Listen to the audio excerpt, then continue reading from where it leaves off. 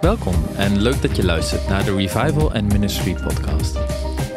We maken geloofsopbouwende content voor voorgangers, leiders, sprekers en bedieningen om je te bemoedigen en toe te rusten in de roeping die God voor jouw leven heeft. Welkom bij onze Revival and Ministry podcast. En elke twee weken hebben we dus een nieuwe podcast online en ehm, met verschillende uiteenlopende thema's uh, die leiders en bedieningen, sprekers uh, zal bemoedigen, opbouwen en versterken. En uh, het zal je zeker gaan aanspreken. En we hebben vanmorgen weer, hebben we onze tweede aflevering, hebben we Tom. Hoi. Welkom, zijn we, weer. zijn we weer. We, gaan er, we hebben al een prachtige podcast opgenomen over, ehm, hoe, over start hoe start je een bediening met 19 tips. Zeven, twee, twee, twee, uitzendingen geworden. Twee uitzendingen geworden. Dus eigenlijk deel 1 en deel 2. Dus uh, daarin uh, hebben we al zoveel fundament gelegd voor hoe je start. Uh, daarnaast hè, heb, heb, ik ook vorige keer gezegd bij de eerste deel. hoeveel frontrunners al aan impact heeft gehad in Nederland aan bediening. En dat is gewoon belangrijk om dat elke keer te beseffen en ook te benoemen. Omdat uh, datgene wat we zeggen, dat is ook al doorleefd. En al die principes die gaan je helpen om uiteindelijk je bediening te starten. En vandaag gaan we eigenlijk, eigenlijk een soort tweede stap maken van hoe breek je dan echt door in je bediening. Ja. En uh, dat gaan we vandaag uh, oppakken. En ja, allereerst is het even belangrijk van hoe, hoe ben je eigenlijk ooit begonnen? Hoe is het eigenlijk ooit gestart? Ja, Frontrunners is gestart. Kijk, we hebben het gehad over roepen. Dus je moet weten dat je geroepen bent. Toen ik tot geloof kwam, toen ik echt tot wedergeboorte kwam en heel actief en fanatiek werd met geloof, toen uh, ik kreeg heel veel profetieën. God heeft je roepen voor bediening, weet je, over mensen zien het op je leven liggen, werd veel over geprofiteerd. Ik was heel actief in de kerk, waar ik als jeugdleider actief was. Hè, toen me geholpen met een churchplant, jeugdleider, uh, bijbelschoolleider geweest, in het leiderschapsteam ook van die gemeente. En uh, dat is heel leerzaam, waardoor je ook de hele kerkkant echt door en door kent. Hè, soms heb je mensen die in bediening zitten, maar eigenlijk nooit in de kerk hebben mee gefunctioneerd.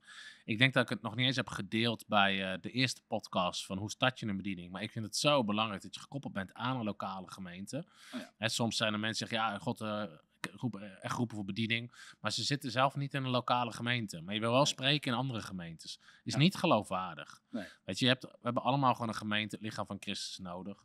Uh, dus wij, ik was heel actief in die gemeente. Er zat echt heel veel tijd in. Maar daar heb ik ook kunnen heel veel gesproken, les gegeven als jeugdleider. Weet je, evangelisatieacties. Dus daar leerde ik gewoon ontzettend veel van dat soort dingen. Uh, bidden voor mensen, genezing, bevrijding. Omdat ik daar gewoon die ruimte kreeg, omdat het allemaal pionieren was. Ja. Um, en uh, dus dat uh, aantal behoorlijk wat jaren gedaan. En toen. Um, en ik was ondertussen aan het studeren op HBO. Ik heb Femke leren kennen. We hebben daar een relatie gekregen. Femke die heeft bijbelschool gedaan in Engeland. Fulltime bijbelschool. En toen Femke klaar was met bijbelschool, was ik klaar met mijn HBO. En toen, uh, ik had zoveel profetie over bediening. Ik wist, God heeft me geroepen voor bediening. Jan Sjoerd Pasterkamp was op ons leven betrokken. Jan Sjoerd zei natuurlijk, weet je God heeft je echt geroepen voor bediening. Toen ik klaar was, heb ik drie weken genomen om te bidden en te vasten. En echt, weet je, ja, maar is weet je, wat moet ik nu doen? Ik heb mijn opleiding klaar, moet ik het bedrijfsleven in? Um, of gaan we de bediening in? Nou, na drie weken sprak God heel duidelijk over bediening. En uh, toen zijn we frontrunners gestart. Dat was uh, eigenlijk zeg maar, begin, eind 2015, begin 2016. Eerste jaar hebben we eigenlijk helemaal geen eigen activiteiten gedaan. Omdat we bezig waren om in die gemeente alles over te dragen. Dat uh, los te laten. En in 2017 hebben we onze eerste eigen activiteiten gedaan. Dus qua statuten zijn we eind 2015 gestart. Onze eerste activiteiten starten eigenlijk in zeg maar begin 2017. Ja, dat waren eigenlijk de revive-avonden. De, ja, de revive-avonden en de genezingscursus waar we mee begonnen. Oh, ja. Los van alle spreekbutten en buitenlandse ja. reizen die ik, uh, die ik al deed. Ja, ja. klopt. Wauw, gaaf.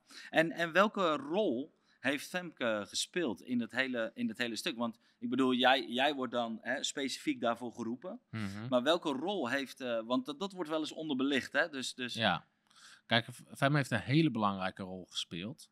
Uh, kijk, ze staat minder op de voorgrond. Ze is wat minder actief, zeg maar, aanwezig. In het begin was ze trouwens overal ja. bij. Hè? Toen we geen kinderen hadden.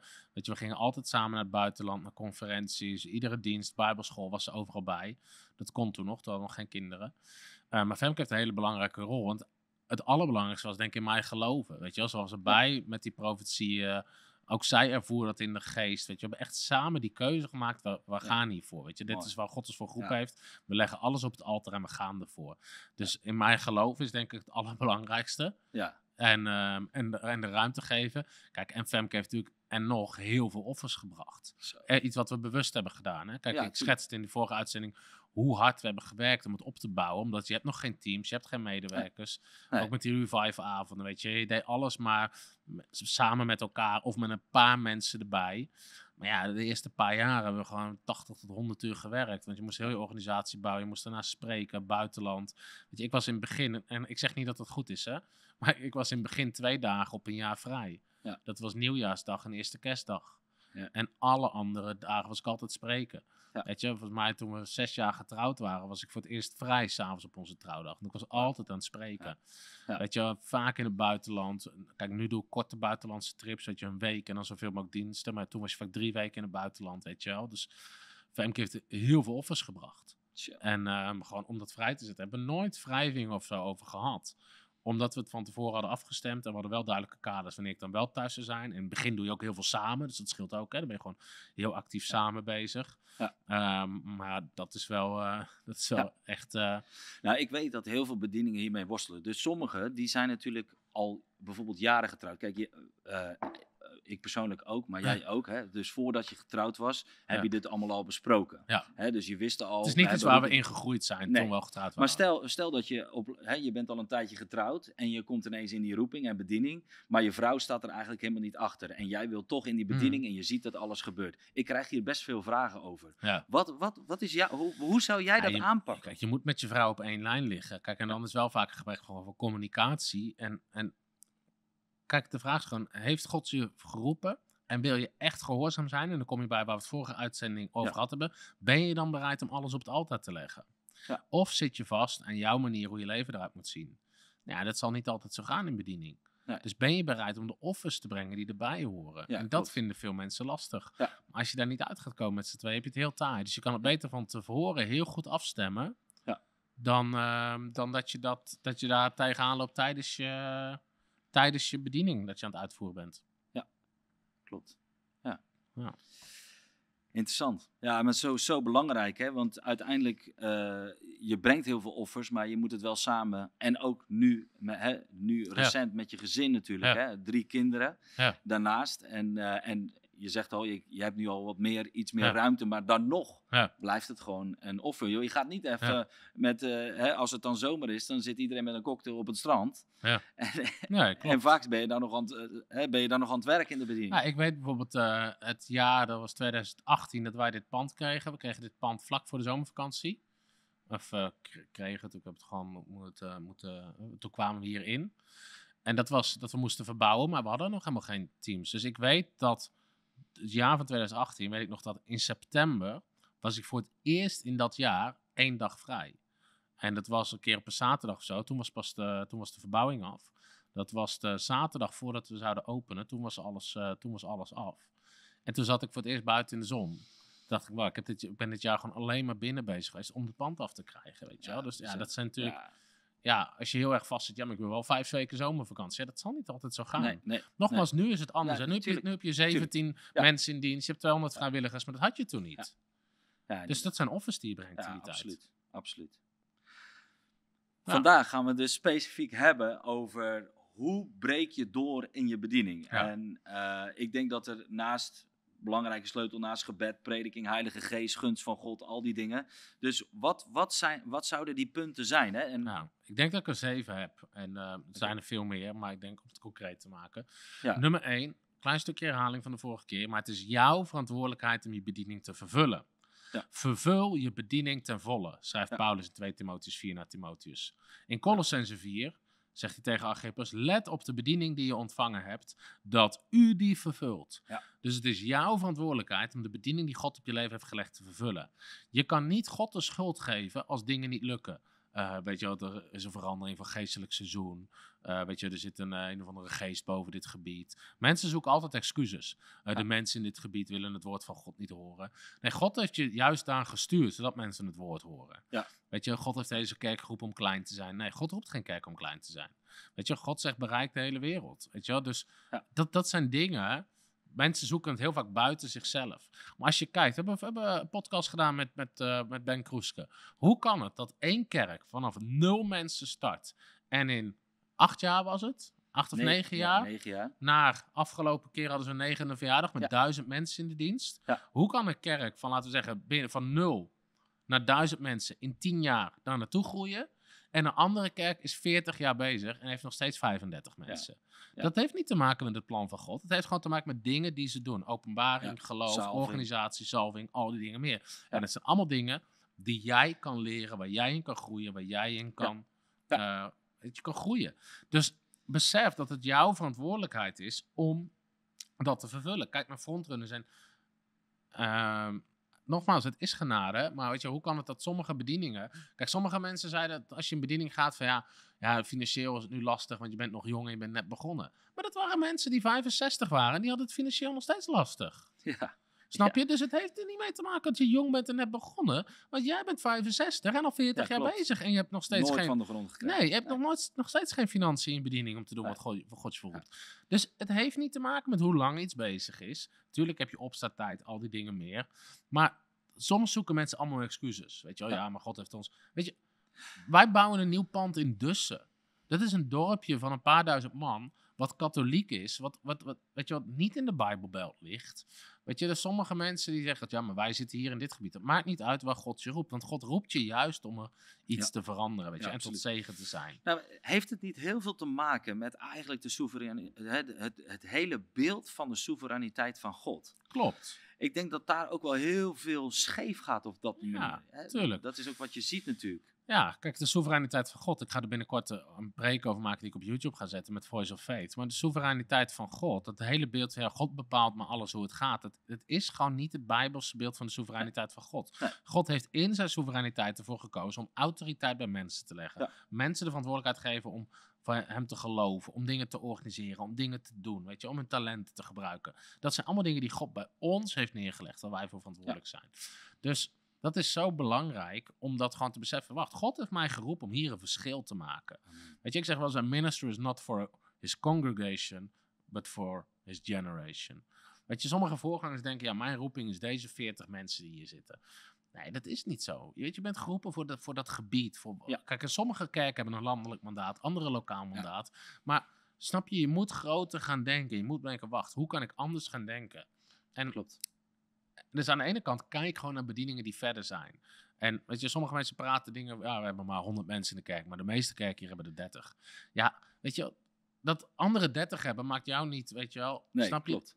Nee. Doe gewoon wat God je voor Maak je daarvan los. Ja, maak je daarvan los en zoek er gewoon naar om veel, om veel vrucht te dragen. Dus dat is denk ik zo ontzettend belangrijk. Besef dat het jouw bediening, jouw verantwoordelijkheid is om die bediening te vervullen. Dus we hebben het gehad over mandaat, methode, roeping, al die dingen meer. Maar dat is een belangrijk punt. Het zou mijn eerste punt zijn. Ja. Het is jouw verantwoordelijkheid.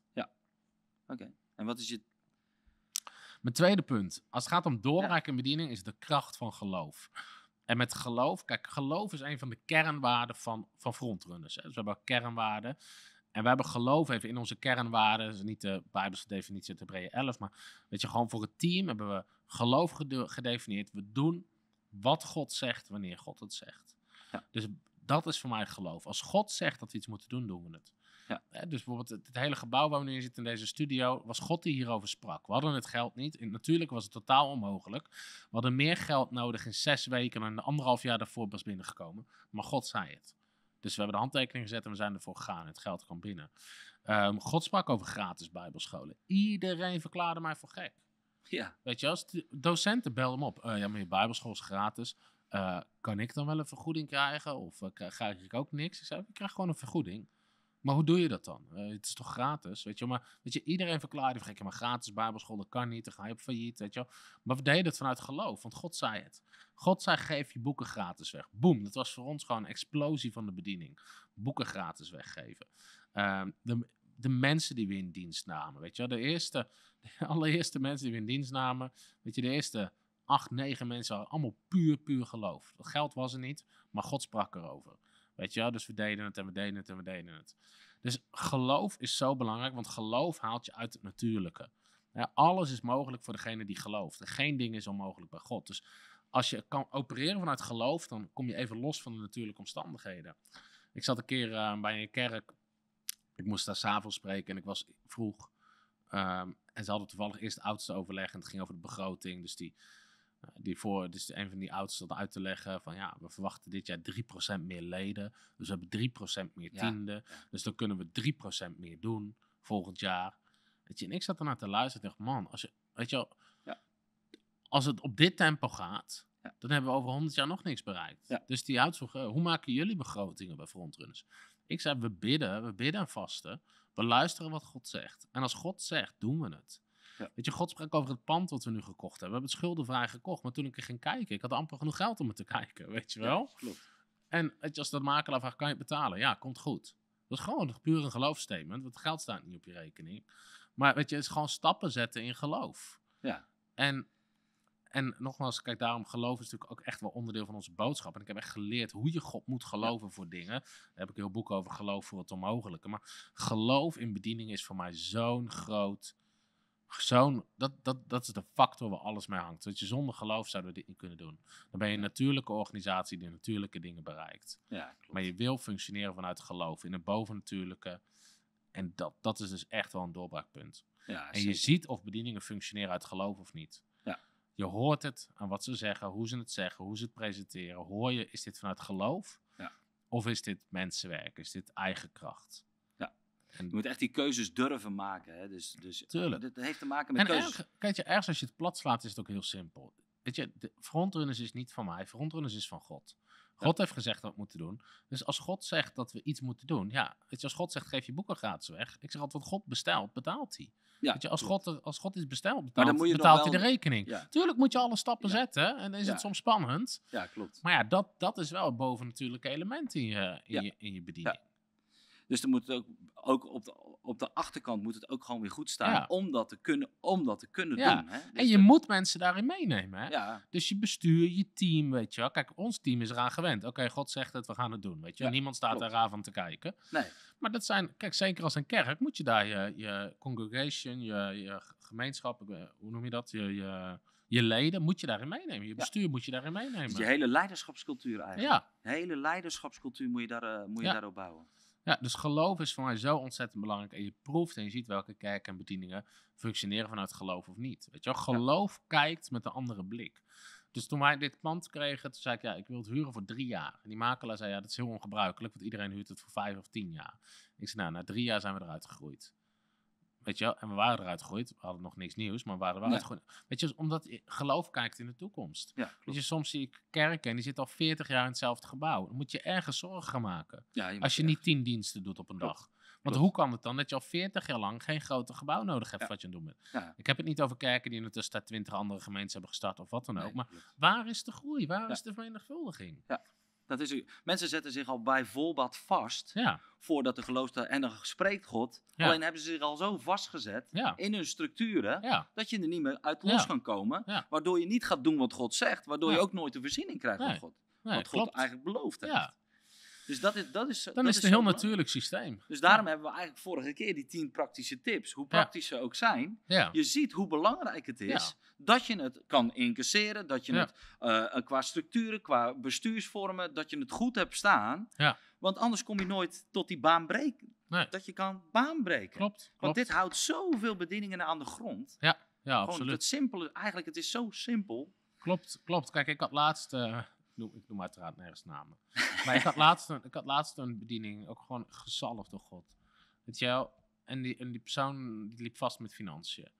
Dus ik zei, weet je, het eerste, weet je, als je wil oogsten moet je zaaien. Dus begin te geven uit je bediening. Maar die persoon kreeg dat er niet door bij de penningmeester. Dus die persoon gaf een gift vanuit een persoonlijke bankrekening aan de bediening. Zei, ja, ja, het mag niet vanuit de bediening, dus ik doe het maar persoonlijk. Weet je, dat, dat, ontsla je penningmeester. Ja. Weet je, als mensen niet mee kunnen Nee, zo- in, weet je wel? ja. Dan moet je dus radicale Ja. keuzes maken. Ja. Om zeg maar. Je, Waarom? Je zit vast in het natuurlijke. Kijk, natuurlijk denken is, oh, als ik weggeef, dan is het weg en heb ik Ja. minder. Maar in het, geest, in het geestelijke is, ik heb weggegeven, dus er komt een oogst terug. Maar als mensen vast in het natuurlijke denken, gaat dat bestuur gaat je beklemmen. dat is bijna een punt op zich. Het, Ja. Over het Ja, geven. Ja, ja daar gaan we nog wel een uitzending over doen, over, Ja, dat, klopt. over financiën. ja, klopt. Dus mijn punt nummer één zou zijn geloof. Of nee, punt twee. Punt 2 is dat al. Punt nummer drie is de kracht van missie, visie en strategie. Missie, visie en strategie. Als het gaat om doorbreken in bediening, en we gaan hier ook een aparte podcast over maken, over groei van je organisatie. Ja. Maar voor mij is, is echt een, ehm, een, echt een doorbraakpunt is geweest toen ik een hele duidelijke vi- visie, missie en strategie kreeg. En kernwaardes. En het was eigenlijk wel een bijzonder verhaal, want we waren denk ik eh, net een jaar of twee jaar bezig met bediening. En ik, eh, ik sprak in Amerika en die, die mensen hadden gevraagd, wil je in een hotel slapen of bij iemand thuis? Ik zei, nou doe maar bij iemand thuis. En, ehm, en die man waarbij ik in huis kwam met zijn gezin, dat was een hele bekende leiderschapsgoeroe, een organisatiegoeroe. En hij had een boek geschreven over hoe je heel praktisch een missie, en visie en strategie voor je organisatie neerzet. Dus ik kwam in gesprek over zijn eigen boek en toen zei hij van, nou, ik help je wel voor frontrunners. Dus ja, ik had natuurlijk meteen een hele mooie Ja. één op één, zeg maar, een beetje Ja. coaching en feedback. En dat is iemand waar, weet je, die gewoon die enorme prijzen rekent in de seculiere wereld. Maar weet je, dus op de terugweg in dat vliegtuig, ik had zijn boek mee, had ik dat nog verder uitgewerkt. Dus ik kwam terug in Nederland met eigenlijk gewoon iets wat God al lang in je hart heeft gelegd, maar nu het gewoon goed onder woorden. Juist. Dit is onze missie, dit is onze visie, dit zijn onze kernwaarden, dit is hoe we het gaan doen. Ja. En dat heeft voor zo'n geloof gewoon zo'n boost gegeven, zo'n doorbraak, omdat als je dingen onder woorden brengt, en ik heb het niet over een visiepa- visiedocument zo dik als een bijbel, Eén A4'tje moet alles opstaan. Oh, Eén wauw. A4'tje. Waarom? Omdat je wil dat mensen het pakken. Weet je, ik, Ja. ik kom soms in kerken, dit is ons visiedocument. Ze houden zo'n map omhoog. Daar is geen, weet je, dat gaat niemand onthouden. Mensen moeten in één zin, of in een paar zinnen weten waar gaan we naartoe. Maar dat zorgt echt voor doorbraak, want ik wist waar gaan we ons op focussen, waar moeten we nee tegen zeggen. Maar het was in één keer ook veel makkelijker voor betaalde krachten en voor medewerkers om aan te haken. Ja. Een van de dingen, als je een nieuwe kerk of bediening start, dan gaan allemaal mensen aanhaken en die gaan hun eigen ding proberen te doen. Eh, zullen we meer onderwijs geven over eindtijd? Zullen we meer onderwijs geven over genade? Zullen we meer onderwijs geven over Israël? Zullen we meer, eh, zullen we dit niet doen? Zullen we dat niet doen? Op zich allemaal mooie ideeën, Ja, allemaal belangrijk, Ja. maar niet onze bediening. Nee. Weet je, dat is niet mijn bediening. Als dat jouw klopt. bediening is, moet jij dat doen. Maar, dus ik kon onder woorden brengen, wat is frontrunners? Ja, en dan heb je in één keer mensen zeggen, wacht, dit is gaaf, hier associeer ik mee, dit klikt in mijn geest, ik ga meebouwen. Juist. En mensen hoeven niet meer te vragen. Het is geen gaan discussie. We, nee, gaan we dit doen? Nee, dit is het. het is wel? geen discussie. Ook op kernwaarden. Als het gaat om mensen aannemen, waar selecteer ik op? Kernwaarden, kernwaarden, kernwaarden. Identificeer je met de kernwaarden van frontrunners. De mensen die we aangenomen hebben het misgegaan is, is, aan- is misgegaan op kernwaarden. Klopt. Is nooit misgegaan op skills. Nee. Nooit op skills. Nee, Op klopt. kernwaarden. Ja, Weet je, is, is frontrunners DNA jouw DNA? Juist. Weet je wel? Dus, dus dat heeft gezorgd voor een enorme groei, is missie, visie, strategie. Nou, daar gaan we, gaan we, Ja, gaan we een uitzending over doen, maar het is wel heel belangrijk. Ja, dat is wel echt heel belangrijk. Ehm, ook de dingen die we doen. Ehm, wat is een Wat? ander doorbraakpunt geweest? Dan hebben we het over punt nummer vier. Is een leiderschapssysteem. Ja. Ik noem het even systeem, maar ik zal uitleggen wat ik ermee bedoel. Gaan we ook dieper op in. Ja. Maar we hadden die missie, visie, strategie, die kernwaarden. En we groeiden als een raket. Weet je wel, we namen mensen aan, we kregen dit pand. En we groeiden en we groeiden, maar we groeiden bijna kapot. Ik was gewoon niet in controle. Weet je wel, je loopt altijd achter de feiten aan. Weet je wel, dan zei Sander van media zeggen, oh, weet je wel, eh, we zijn vergeten om de podcasts op te loaden. Of weet je wel, dus boem, die views waren helemaal naar beneden. Of we zijn dit vergeten. Je loopt achter de feiten aan. Je bent altijd paniekvoetbal aan het doen. Brandjes Klopt. aan blussen, Ja. weet je wel. Oh, dit Ja, vergeten, dat vergeten. Ja. Ja, weet je, ballen hoog houden, dan valt er weer iets. Dat heb je helemaal niet door, want je bent druk met andere Nee. dingen. En ik, hé, wat doet dat ding daar? Weet je, dat is... Dus het was, eh, ik was op een gegeven moment gewoon zwaar gefrustreerd. Ik dacht van, heer, hoe moet ik dit doen? Weet je wel, we doen zoveel, maar we groeien gewoon kapot. En eh, ik zei, heer, we- je, ik, ik heb grip nodig op wat we doen. En ik was aan het bidden, ik zei, heer, help. En ik hoorde de stem van God. En uit frustratie, een tijd daarvoor, wist ik gewoon, mijn organisatie is ergens niet goed. Dus ik was naar bol.com gegaan. Ik had gewoon de boeken, de beste boeken over organisatiekunde. Weet je, gewoon over leiderschap, dat soort dingen. Ik had er gewoon een stuk of twintig besteld. Gewoon van, ik moet dit gaan lezen, ik moet hierin gaan groeien. Maar ja, ik was zo druk dat ik geen tijd had. Nee. Dus al die boeken stonden ergens in mijn boekenkast. En ik hoorde de stem van God. En God zegt, loop naar je boekenkast. En ik loop naar mijn boekenkast. En er springt een boekje uit. En dat heet How to Get a Grip on Your Organization. Of dat was de ondertitel. Of het stond er Ja. op de kaft. En dat springt eruit. En ik kom erachter, het is geschreven door christenen. En ze beschrijven een leiderschapssysteem. Wat heel veel gebruikt wordt in bedrijven. Maar waarbij een product niet centraal staat. Want als bediening heb je geen product. Nee. Maar zij hadden een bepaalde manier om je organisatie aan te sturen, waardoor je in controle bent. Ja. En dat gaat, nou, die visie hadden we al, maar ze hadden bepaalde andere dingen, waardoor je wekelijks bepaalde dingen meet, hoe je vergadert, hoe je snel problemen tackelt. Even heel, Ja. heel snel gezegd. Ja. Nou, ik, ik had mijn eh, manager erbij geroepen. Ik zei, eh, lees dit boek. Ik zeg, dit is wat we moeten doen. En eh, dus hij, eh we samen, en hij heeft er een grote, grote rol in gespeeld, hebben we dat uitgerold. Ah, dat was zo'n grote doorbraak. Ja, kijk, jij werkt nu zelf bij Frontrun, dus je weet hoe fijn dat systeem is. Zeker. Zeker. En eh, dus door gewoon wekelijkse vergaderingen met een duidelijke structuur, ook een leuke structuur. Maar ben je gewoon, weet je, je loopt niet meer achter de feiten. Want iedere week zit je overal op een fijne manier. Bovenop heb heb je- je, feedback. Als je eerlijk bent, Ja. we hebben bijna nu geen punten. Nee, klopt. Omdat Omdat, je- alles omdat het- loopt. alles omdat- wordt meteen getackeld. Ja. Dus vroeger kon bijvoorbeeld zijn dat ik zei van... nee, maar waarom eh, staat dit niet online? Of waarom eh, loopt uh, Bijbelschoppen niet? nou? Ja. Oh ja, ja, ja, daar hebben we die software voor nodig. Maar ja, ja, ja ehm, oh ja, even uitzoeken welke software. Nou, dat duurde dan weer drie weken. Maar nu worden iedere week alle probleempunten getackeld. Wat is het probleem? Wat is de oplossing? Boom, door. Dus je hebt geen langlopende problemen. Nee, dat komt door het leiderschapssysteem. En daardoor, kunnen we, daardoor konden we groeien. Eno- ja. Dus het leiderschapssysteem. En bij doorbraak hoort ook teams. Misschien zou je dat een apart punt kunnen noemen. Maar teams, teams, teams. Ja. Als mensen aan mij vragen, hoe, hoe kan het dat je zoveel doet met frontrunners? Nou, nogmaals, natuurlijk, je hebt salving, roeping, al die dingen, maar teams. We hebben zulke goede teams. Zowel in de vrijwilligers. Weet je, als- weet je, ik geef altijd de eer aan mijn teams, weet je wel. Oh, wat een geweldige geneescampagne. Teams. Ik kom aan, ik predik, weet je wel. En ik bid voor een paar mensen. Ja. Maar onze teams, ministerteams zijn getraind, weet je wel. Mediateams, alle teams, die draaien het. Hoe, Dus je- hoe, hoe, heb je dat, hoe heb je dat neergezet? Hoe, hoe, kun je dat, hoe kun je dat vanaf begin af aan nu goed aanpakken? Het belangrijkste voor teams is, je, hè, voor, en heb je daar ook een leiderschap, is training. Dus je hebt, op een gegeven moment, je moet, eerst moet je al een cultuur hebben gebouwd. Daarom zijn die kernwaarden zo belangrijk, want mensen weten waar ze instappen, mensen weten waar ze voor gaan. Cultuur moet je bouwen. Dus mensen weten bij onze vrijwilligers, je hoeft niet te laat te komen. Je hoeft niet, niet op te komen dagen. Dat is cultuur. Ja. Weet je, dan moet je je leiders moeten dat kunnen coachen. Kijk, wat voor onze hele grote sleutel is geweest, zijn onze bijbelscholen. Ja. Want in je bijbelscholen krijgen mensen helemaal jouw DNA. Je DNA van wat je gelooft, wat je onderwijst. Ehm, daar springen de mensen er al uit die op tijd zijn, die niet te laat komen, die hun boek verslagen Ja, in hebben. die al je, dat dienstbaar dingen, zijn. Die dienstbaar zijn.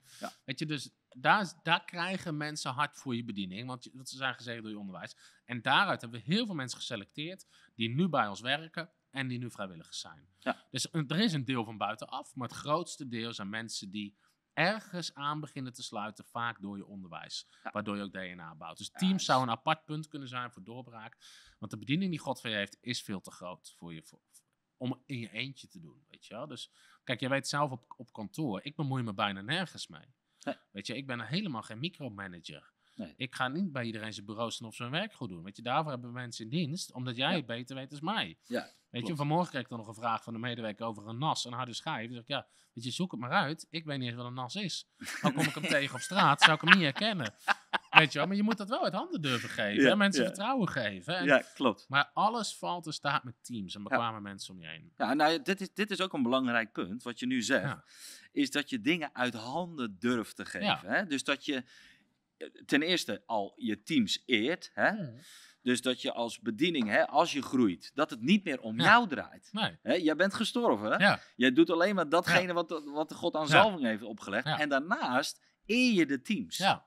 Eer je de mensen die je hebt. En je moet, kijk mensen, wij, wij, wij eren elkaar ook voor de, kijk, voor de kracht die mensen hebben. En kijk, als je kijkt naar bevrijdingsdiensten, hè, ik durf te zeggen dat er veel mensen uit mijn ministerie beter zijn in één op één bevrijdingssessies dan ik zelf. Maar ik hoef er niet goed in. te- eh, Nee. met, ik hoef er niet goed in te zijn. Ik Nee. Ik prijs God dat ze beter zijn dan ik. Waarom? Wat is mijn kracht? Ik kan mijn prediking openbreken. Ik kan vanaf een podium een bevrijdingsdienst leiden, waardoor mensen in hele grote groepen tot, tot vrijheid komen. Maar zodra het wat meer intensiever één op één traject of gebedstraject worden, ligt het buiten mijn kracht. Want dat is niet waar God mij voor geroepen heeft. Maar Nee. zij zijn er wel goed in. Ja. Dus heel vaak als mensen naar de dienst komen, wil je bidden voor bevrijding? En een van mijn team zegt, joh, ga naar hun toe. Ja, maar ik wil bij jou. Luister, zij doen dit meer dan ik. Ja. Want ik zit er veel Ja. vaak in die groepsetting, snap je? Ja. Dus zij hebben inmiddels gewoon meer ervaring dan ik heb daarin. Ja, mooi. Weet je wel? Ja, dat dus, en daar moet je ook mensen gewoon voor kunnen eren en respecteren. Maar er is natuurlijk gewoon zo heel. Waar het al misgaat, is dat heel veel controle al bij Ja. voorbaat is. Ja. Dus als je geen vertrouwen geeft, Ja. gaan die anderen ook niet groeien. Nee. En als, dat niet, als je teams niet groeien, Ja. dan, Ja. dan kun je ook nooit gaan Nee. doorbreken. Nee, klopt. Dat En-. Kijk, en het kost tijd, maar weet je, ik durf, mensen uit onze teams kunnen we blindelings vertrouwen, weet je wel. Ja. En dat is gewoon zo fijn. Ja, Maar het kost tijd met DNA bouwen, elkaar leren kennen. En ook omdat je een heldere visie hebt, missie hebt, systeem hebt. Weet je, heel veel vragen hoeven ze me niet te stellen, want ze weten hoe ik erover denk. Ja, klopt. Snap je? Dus je hoeft geen, in die zin geen domme vragen te stellen, want je weet hoe ik ergens over denk of niet, weet je wel. Dus Ja, dat scheelt ook gewoon. Dus geef die mensen een mandaat. Leer ze gewoon hoe je denkt. Weet je, Ja. je leert mensen hoe ze beslissingen moeten Ja. maken. Van, nou, als er een probleem is, wat zijn de drie oplossingen? Wat kosten ze? Wat zijn de voor- en nadelen? Wat denk jij wat de beste is? Dus klopt. een van je grootste wapens als leider is vragen stellen. Stel gewoon vragen aan mensen. Want Ja. ik weet het niet. Dus je moet het uit hun zien te trekken. Wat zijn de mogelijke oplossingen? Wat zijn de financiële gevolgen? Wat denk jij wat het beste is? Ja. en dan leer je hun hoe ze besluiten moeten maken. Ja. Nou, heel vaak zeg ik, als er een probleem is en we hebben iets nodig, we moeten iets kopen, weet je wel, dan, nou, wat zijn de twee of drie oplossingen? Wat denk jij wat de beste is? Ja. En als het dan gaat, zeker om grotere uitgaven, waar ik wel een beslissing over moet maken, wil ik gewoon op één a viertje hebben. Voordelen, nadelen, lange termijn, korte termijn, wat kost het? En wat denk jij wat de beste is? Nou, het is bijna nog nooit gebeurd dat ik zeg van, oh nee, doe dan toch maar die. Ja. Maar weet je wel, uiteindelijk maken zij de beslissing. Ik gooi alleen de Ja. Mooi. En, maar ja, dat, dat zijn wel hele krachtige dingen. Ja, het zijn hele belangrijke dingen om, eh, om door te breken. Ja, laten we nu wat geestelijkere tips Ja. doen. ja, nou ja. Nee, nee, ja. het is, echt Dit heel eh, belangrijk. Ja, is Jezus bouwde meteen een team. Kan het zeggen. Jezus bouwde Hij meteen koos een eerst twaalf discipelen. Dus in, hè, in Matthäus 3 begon die. Ja. En het eerste wat hij deed was... Ja. Ja, je moet dingen, weet je, uit handen. Heel vaak komen mensen in diensten naar me toe. Hé Tom, ik heb me aangemeld voor je bijbelschool, maar ik heb een vraag.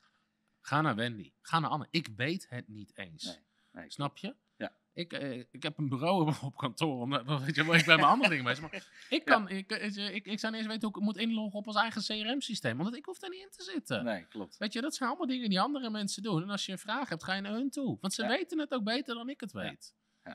Maar heel veel mensen zijn gewend dat de leider van de organisatie alles weet en doet. Ook als voorganger, hè? Ja. Ik sprak vorige week nog een voorganger. Ja, ja, ik werd voorganger en iedereen verwacht dat ik alles deed. Ja. Je wil niet weten hoeveel mensen de infomail... We krijgen echt letterlijk 200, 300 mails per week op de infomail. Dus 1000 mails per maand. Hoeveel mensen mailen met... eh, Hoi Tom, ik heb een vraagje. Mensen denken echt dat ik heel de dag die infomail zit... eh, Ja. van, als we van de duizend mails vijf bij mij terechtkomen, is het veel. Want dat ligt allemaal niet bij mij, weet je. Nee. Al die dingen hoef ik niet te beslissen. Nee. Nou ja, wat, je, wat, je, wat, je, wat ik altijd merkte is dat mensen willen heel graag heel veel ruimte hebben. Ja. En ze willen eigenlijk, eh, hè, dus wat je zegt, ze willen dat vertrouwen hebben. Ja. Maar waar de schakel ligt, is eigenlijk het punt één wat je zei, Ja. is dat heel veel mensen geen verantwoordelijkheid willen Ja. en nemen. Ja. Is dat zij dan ook verantwoordelijk zijn om dat te doen. Ik wil niet de controle erover Nee. houden, maar als jij het niet doet, Ja. ja, Dan dan, moet dan ga je het wel doen. Ja. Weet je wel? Klopt. Kijk, en daarom hebben we ook onze hoofdfuncties ingedeeld met betaalde krachten. Want dat scheelt gewoon. Daar kan je gewoon meer van vragen dan een vrijwilliger. Daar kan je bepaalde skills van vragen. Of papieren, weet je wel, die je niet kan vragen van een vrijwilliger. Nee, klopt. Maar ook gewoon dat DNA is zo belangrijk. Echt, weet je wel, dat dat DNA, alles valt of staat met DNA. Dat is gewoon Ja, dat zo. is echt bizar. Ja. Ja. Mooi man. Ehm, volgende punt kan kort over zijn met bidden en vasten. Bidden en vasten is gewoon een doorbraak voor je bediening. Dus ieder jaar doe ik aan het begin van het jaar of aan het einde van het jaar een tijd doorbrengen met bidden en vasten. Kan een week zijn, kan drie weken zijn, maar waarbij God hoor voor het volgende jaar. Wat zegt God? En daar moet je mensen in meenemen. Je teams, je studenten, je kerk. Wat heeft. God gezegd over dit jaar? En dat gaan we doen. Het is, voor heel veel dingen zijn we niet verrast. Omdat God er al over heeft gesproken aan het begin van het jaar. Weet je wel? Dus Ja. bidden en vasten is voor mij zo belangrijk. Heb ik ook los onderwijs natuurlijk over op YouTube. Ja. Maar bidden en vasten is voor mij echt heel belangrijk in doorbraak. Ja, absoluut. Ja. Nee, absoluut. En dat is ook wat je, wat je, wat je elk jaar ziet terugkomen. Hè. Dus ik ben er nu Ja. één keer bij geweest, maar dan wordt gewoon heel die visie uitgerold. Ja. Hè, dus, je, dus het is wel belangrijk dat je er ook aandacht aan besteedt. Hè? Ja. Want je kan wel zeggen, ja, ik ga bidden en vasten, Ja. maar doe het ook echt met het doel om te horen. Ja. En zet dat neer en werk dat dan weer uit. Ja. Ook in praktische, in alle dingen moet je dat dan doorvoeren. En dat is wat ik dan heel sterk vind, zeg maar. Je komt echt met een PowerPoint en dan komt het in al die gebieden komt het weer terug. Dus dat moet gebeuren, dat moet dus veranderen, dat moet omgekeerd worden, dat moeten we dan doen. En dan gaan we, de, hè, dit jaar was het naar dubbel. Dan, dat betekent ook dat je organisatorisch moet je mee gaan schuiven. ja absoluut. dus het is niet alleen de geestelijke van ja, ik ga bidden en vasten. Nee. Ja, maar dan is het Ja. poem. En wat moet je concreet doen? Dus soms hoor ik, eh, ja, God heeft gezegd dat we dit jaar grote dingen gaan doen. Ja, wat dan? Wat, weet je? God gaat altijd grote dingen Ja. doen. Maar, Ja. wat is er aan het eind van het jaar veranderd? Ja. Weet je wel? Ja, Dus maak het dan ook echt concreet. Ja. dus ja, dat, eh, dus bidden en vasten. Nummer vijf, of zes, wonderen en tekenen. Weet je, wat, wat gewoon nodig is in onze generatie zijn wonderen en tekenen. Genezing, bevrijding, de kracht van God, doop in de geest. Wil je doorbreken in bedienen, bediening, is dat be big on the basics. Wat mensen nodig hebben is geen preek over time management, is geen preek over enjoying your season. Nee, wat mensen nodig hebben is bekering van dode werken. Is de doop in water, is doop in de Heilige Geest, is genezing van hun ziekte, is bevrijding van demonen. Dat zijn die thema's. Man, daar beweegt God op. Ja, Je kan preken in een Pinksterkerk en mensen, mensen hebben nog nooit Pinksteren meegemaakt. Ze zijn niet vervuld met de Heilige Geest, spreken niet in tongentaal.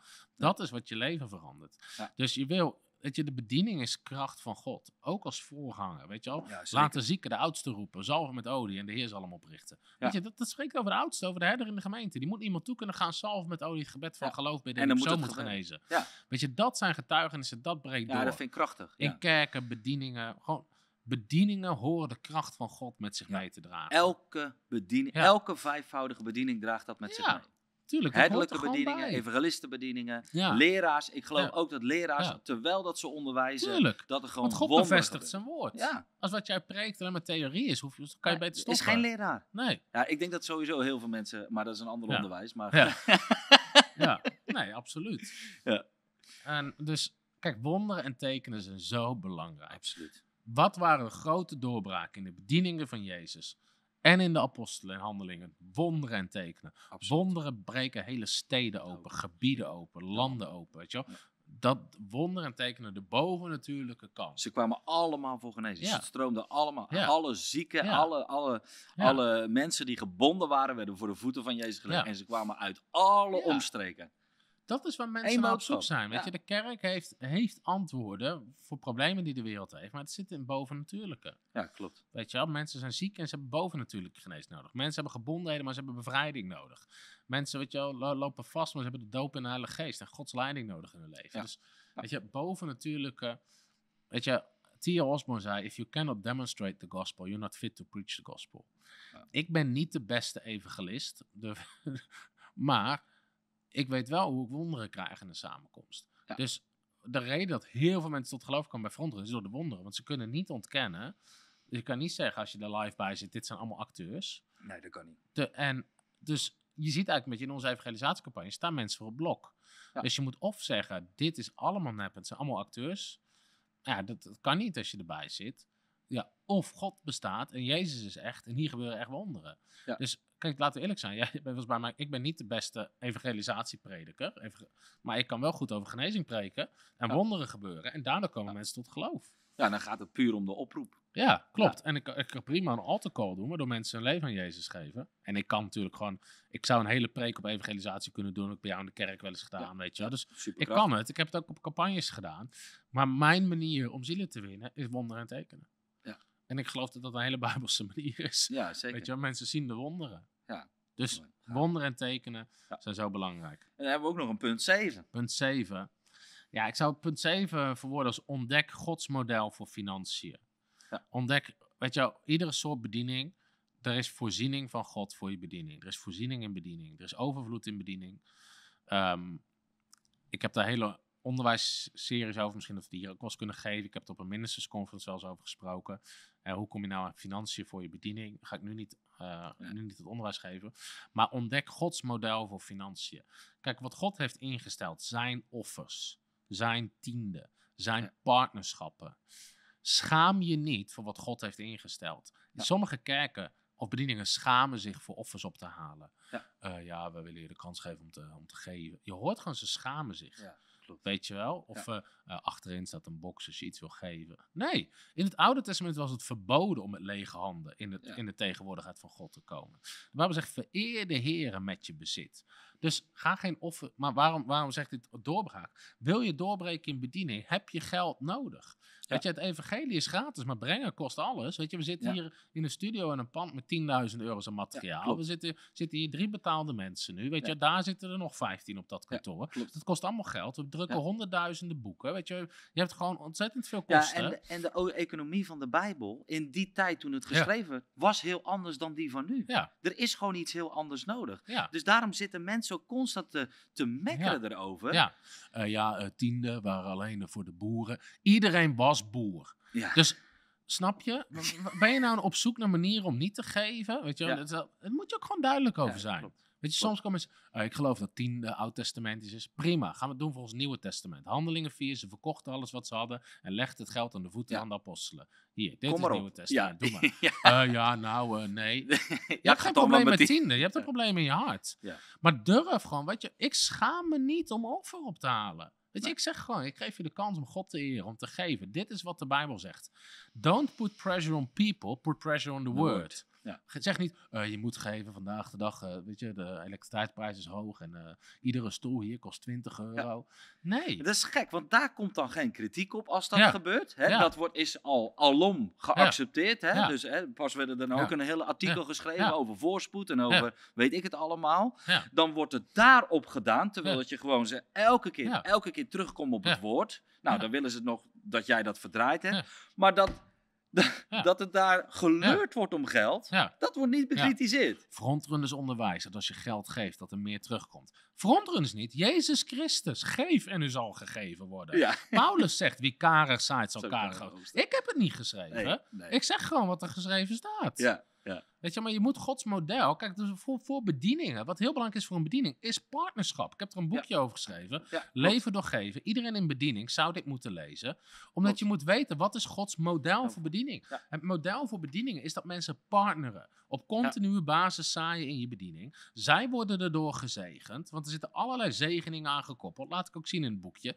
Maar heel veel mensen weten het niet. Kennen partnerschap niet. Nee. Hè, toen ik begon met de bediening, zei iedereen... eh, je moet het geen partner noemen, je moet het donateur noemen. Oh ja. ja. dat is ook wat het Wereld Natuurfonds doet. Ja. Maar we zijn niet bezig met het Wereld Natuurfonds. Gods woord noemt het partnerschap. Dus ik noem het partnerschap. En als mensen het niet weten, ga ik mensen onderwijzen. Want Ja. dat is mijn taak als bediening. Onderwijzen het woord van God. Amen. Dus ik leer mensen, wat is partnerschap? Wat zegt de Bijbel erover? Wat doet het in je leven? En het gevolg is dat je partners krijgt. Want mensen Ja. willen gewoon meewerken in Gods systeem. Maar je moet ze wel erover onderwijzen. Ja. Dus schaam je niet om te prediken over tienden, over offers, over partnerschappen. Omdat, ten eerste, het is niet voor mezelf. Weet je wel? Het, Ja. is, het is voor de bediening. Het is voor het koninkrijk van God. Dus Amen. je Ja. hoeft je helemaal niet te schamen. Het, het is het grootste voorrecht wat er is. Dat mensen Om kunnen geven. Ja. zaaien in het koninkrijk van God. Hun geld krijgt eeuwigheidswaarde. Zij worden erdoor gezegend. Dus schaam je niet om offers Nee. op te halen. Nee, dat is zo Nederlands en dan moet je daarheen breken. Amen. En Amen. schaam je niet om onderwijs te geven over tiende. En hier waarop werd ik heb bekritiseerd. En daarom ga ik nog een keer zeggen. Er zit een demonische geest achter die de kerk arm Ja. wil houden. Ja, maar dat en dat zie je echt. met alles. Ja. Het is gewoon een freaking demon. Weet je, ook die mensen die, die, die artikelen schrijven. eh, Tom de Wal preekt alleen maar over tiende. Er staan 500 video's op. YouTube. Er gaan er twee over tiende. Ja. Weet je, maar dat is een demon die spreekt. ja, klopt. Weet je, dat is de, weet je, de- waarom? Satan wil de kerk arm houden. Want hij wil niet dat de kerk invloed heeft en het evangelie kan verspreiden en dingen gratis kan doen. Weet je, Ja. er moet gewoon nog veel meer geld beschikbaar komen voor het koninkrijk van God. Dat hele armoede denken moet eruit. Dus in Tom, je ga je, ga, je ga je dus niet terughouden om Nee, eh, ik te ga me preken. niet terughouden. en ik ga ook geen excuses aanbieden. Halleluja. We gaan, je gaat alleen maar meer preken. Ja, Zullen we gaan zeggen, eh, moet je niet je excuses aanbieden? Waarom? Ik ben het ermee eens met wat ik zeg. ja, Waarom dat is ook nog belangrijk. Ja. Dat is ook baanbrekend. Ja. Dat je het zelf gelooft. Ja. maar ook dat is een politieke geest, weet je wel? Waar mensen iedereen... eh, eh, ja, dat is niet zo netjes. Maakt mij het uit wat netjes is. Weet Nee, je, heel veel dingen die Jezus zei waren niet netjes. Nee. Stop met dat politieke gedoe. Zeg gewoon wat het is. Klopt. Weet je, en mensen die, die, die het wel willen horen, die horen het wel. Dat Het woord is als een hamer. Ja, klopt. Ja. Het Mensen zitten allemaal met eh, politiek of eh, ja, dit ligt wel gevoelig. Nou, prijs God, breekt er doorheen, ligt het niet meer gevoelig. Nee. Eh, ja, dan lopen mensen weg. Laat ze weglopen. Ja. De mensen die weglopen, heb je toch niks aan. 30 jaar geleden was genezing ook gevoelig. Ja, tuurlijk. Ja. Kijk, en de mensen die zeuren over, over geven, dat zijn de mensen die niet geven. Waarom? De mensen die geven, die zijn blij, want die worden bevestigd in wat ze doen door het woord van God. Ja, klopt. Dus oh, het zijn allemaal dingen waar je doorheen moet breken. Ja, Maar financiën zijn gewoon belangrijk voor je bediening. Ja. En belangrijk voor het koninkrijk van God. Dus zeg wat God zegt. Dus zeg geen dingen zoals hoeveel weten dat het niet uitmaakt wat je geeft. Het maakt wel uit wat je geeft. Probeer maar tegen Kain en Abel te zeggen dat het niet uitmaakt wat je geeft. Of van Ananias en Safira. Het maakt wel uit wat je geeft. Ja. Dus dat zijn zulke belangrijke dingen. Wat ook zorgt voor doorbraak in je bediening. ja, mooi. Gaaf. Amen. Amen. Dus we hebben eigenlijk, als we even terugkijken op wat we net eh, gehoord hebben, is, is eigenlijk punt 1, hè, wat, wat echt baanbrekend is, is dat je, is dat je verantwoordelijkheid neemt. Is Ja. dat jij verantwoordelijk Ja. bent om je roeping te vervullen. Het ligt bediening. niet bij Ja. iemand anders. Nee. Het ligt niet aan de omstandigheden. Het ligt niet aan weet ik veel wat. Het ligt, en het ligt ook niet per se aan God. Het Ja. is dat jij het gaat oppakken. Dat Ja. jij het gaat vervullen. Het ligt Jij bepaalt dat, of je Ja. gaat doorbreken. Punt 2 hebben we het gehad over de kracht van je geloof. Hè? Ja. Dus geloof is gewoon echt de drijvende kracht om baan te breken, om boeken, te, hè, om boeken weg te geven. Hè? Dat je het hoort van God en dat je het ook uiteindelijk Ja. echt gaat doen. Eh, punt 2, of punt 3, is de kracht van visie, missie en Strategie. strategie. Ja. Eh, waardoor je gewoon een hele duidelijke, dat je in één A4'tje gewoon heel Ja. duidelijk hebt. Dit is waar we naartoe gaan. Dit zijn Ja. mijn kernwaarden. Dit is waar we voor staan. Zodat je niet dat iedereen binnenkomt zijn eigen ding Mhm. gaat doen. Maar dat je Ja. gewoon weet, dit is het. Dit is het plaatje. Punt 4. De kracht van een leiderschapssysteem. Hè? Dus, dus, dus eh, hoe je... Hoe, geef je leiding aan je organisatie? Ja, hoe geef je leiding aan je... gestructureerd? Juist, juist. Punt 5. Bidden, en en vasten. vasten. Gewoon een geestelijk principe. Dat je, dat je dat uiteindelijk ook weer uitwerkt door je hele organisatie heen. Datgene wat God zegt. Punt 6. Wonderen en tekenen. Dat dingen doorbreken. Dat, Ja. dat het gezien wordt. Boven dat de kracht, ja. boven natuurlijk, de kracht van God. En punt 7. Het, Ontdek Gods model voor financiën, voor bediening. yes. Wauw. Wauw. Dit zijn- krachtige dingen Zo, krachtige dit zijn echt hele krachtige dingen hoor. Ja. En sowieso al podcast 1 hebben we natuurlijk al zoveel tips. En nu ook Ja. weer prachtige punten die, waar je echt wat mee kan. Ja. Zijn er, zijn er specifieke dingen die je anders zou doen bij het eh, starten van de bediening van frontrunners? Dus dat je echt zegt van hé, Ja, wel. Ehm, kijk, het, is allemaal een leerproces. Hè? ja, ja, ja. Ik zou, maar goed, dat is allemaal achteraf. Dat, Ja. is, dat, is, dat is de koe in zijn kont kijken of zo dat. Maar achteraf is- zou ik sneller grotere stappen durven te zetten. Oké, Omdat ik gewoon, en sommige mensen vinden dat we nu al hele grote stappen Ja. zetten, doen we ook. Maar weet je, wel, omdat soms ben ik misschien nog wel te voorzichtig geweest om mensen aan te nemen. En, waardoor ik te veel zelf deed. Maar het is ook een groeiproces in geloof. Hè? Geloof Ja. als een mosterdzaad. zeker. Uh, maar achteraf, weet je, God is echt betrokken bij, ehm, bij, bij je bediening. Dus ik zou achteraf sneller grote stappen zetten, mensen aannemen, et cetera. Ik zou me eerder verdiepen in leiderschap en organisatie, zonder dat dit ten koste gaat van je geloof. Hè? Ja. Wat ik zei, eigenlijk liep ik eerst twee keer vast, waardoor ik visie en missiestrategie leerde en later leiderschapssysteem. Als ik dat eerder had geweten, waren we eerder veel harder gegroeid. Maar goed, het zijn ontdekprocessen. Ja. Ehm, en ik denk, iets wat ik anders zou doen, het laatste is, ik zou nog dichter blijven bij mijn kernboodschap. Oké, Ehm, en eh, het voorbeeld wat ik daarbij heb is eigenlijk de oude Bijbelschool.tv. We hadden de ja. eerste versie van Bijbelschool.tv. Ben ik te veel op automatische piloot gegaan. Dus we Ja. hadden een mooie Bijbelschool. Maar kijk, waar frontrunners goed in is, is radicaal onderwijs. En onderwijs, wat, wat dieper onderwijs, zeg maar, niet de basics. En in die eerste Bijbelschool.tv behandelden we heel veel basics eigenlijk. God de Vader, weet je wel, God de Zoon, wie is Jezus. En het is heel belangrijk onderwijs. Maar daarvoor is frontrunners niet. Nee. Weet je, dat was te veel van, oké, wat hoor je te geven in een bijbelschool? Ja. Nu ligt het niveau van onze parttime school heel veel hoger. Dus heel veel mensen zeggen, ja, maar je slaat heel veel belangrijk onderwijs over. Klopt, maar er zijn al zoveel bedieningen die dat mooi doen. Ja. Dus ik kwam er ook achter, dat is niet helemaal mijn kracht. Ik kan het geven. ja, ja. Ja, weet je, ik ben eh, theologisch best wel prima onderlegd. Ik heb ook alle bijbelboeken gewoon gegeven in de school. Van Ja, Malachi, Ja, Habakkuk. Al de Dat theologielessen. vind vind ik ook leuk om te doen, weet je. Ik kan ook les geven over Zacharia, al die boeken. Alleen, als ik dat soort dingen opnieuw zou moeten doen, zou ik veel dichter blijven bij mijn boodschap. Ehm, ook wat ik in gemeentes zou brengen, et cetera. Waar we nu nog veel meer op aan het focussen zijn. Maar, Ja, klopt. ehm, dus ja, dat zijn een aantal dingen die ik achteraf anders zou doen. Ja, mooi. Gaaf. Ja. Ja, super leerzaam. Ja. Dankjewel. Bedankt, Graag eh. Tom. Eh, dit was alweer aflevering 3. En eh, we hebben zoveel prachtige punten die ik net al had benoemd, die je kan meenemen om in je bediening te gaan doorbreken. Want dat is uiteindelijk nodig. Je kan iets starten, maar het moet uiteindelijk ook zijn weg gaan vinden. Eh, je moet uiteindelijk over die rode loper die eh, God al voor je uitgelegd hebt, waar jij op gaat lopen, jij die verantwoordelijkheid gaat nemen om daarin te gaan wandelen. Nou, we zijn aan het eind gekomen van deze Revival and Ministry podcast. En eh, we hebben weer, zoals ik net al zei, veel geleerd. En als je zegt van, hey, dit is, ik wil hier echt op de hoogte van blijven. In de onderstaand eh, staat er een button waar je kan aanmelden voor de nieuwsbrief. Eh, in de nieuwsbrief hebben wij eh, de handout van, van elke podcast. Die sturen we je toe. Eh, die zit erbij zodat je alles nog eens even rustig eh, kan nalezen. Zodat je het heel makkelijk in je kan gaan toepassen. In je bediening, in je leiderschap. Of waar dan ook kun je het herkauwen. Herkauw het vaak, omdat je gewoon op die manier leer je er ook gewoon heel veel van. Eh, we gaan je niet spammen, maar gewoon puur dat je, dat je op de hoogte kan blijven. Zodat we de nieuwe podcast kunnen, kunnen, kunnen aankondigen. Maar ook zeg maar onze ministry, eh, ministers conference die er zijn, zodat je daar ook gewoon voor uitgenodigd wordt.